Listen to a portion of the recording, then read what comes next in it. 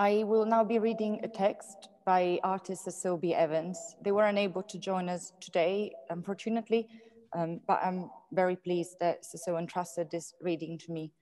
Cécile B. Evans is an American-Belgian artist living and working in London. Evans' work examines the value of emotion and its rebellion, rebellion as it comes into contact with ideological, physical, and technological structures. They have recently exhibited a new performance commission for the Move Festival at Centre Pompidou in Paris and are working on an ongoing adaptation of the industrial era ballet Giselle. Recent selected solo exhibitions include um, Frac Lorraine, um, Chateau Shatto, Museo Madre, and many other incredible international shows. Cécile B. Evans, London.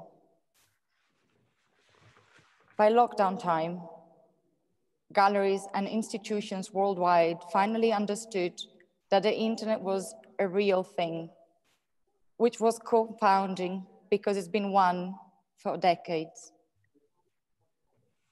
Amid their scramble to devise new online platforms, they cheaply gather original content.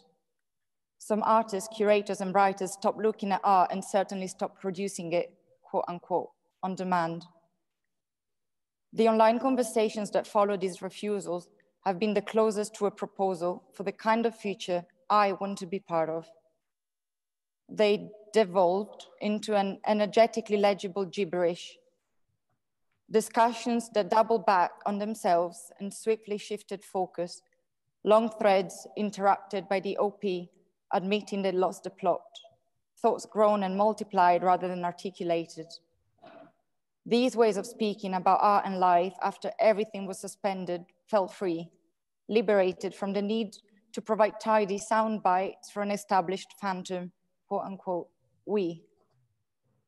Long-standing demands were rehashed in an apologetically personal and unending terms, and the overall opaqueness felt more conductive to progress than any formal scheme. I muted anyone who sounded too clever, blocked anyone who made too much sense, and reported anyone who suggested anyone's physical condition was up for debate. I'd cancel myself if it meant the world could be one iota more beautiful. For months, I've existed inside conversation with no destination or deadline, full of care and mutual aid, the ends trailing off into sleep or long stares out of the window.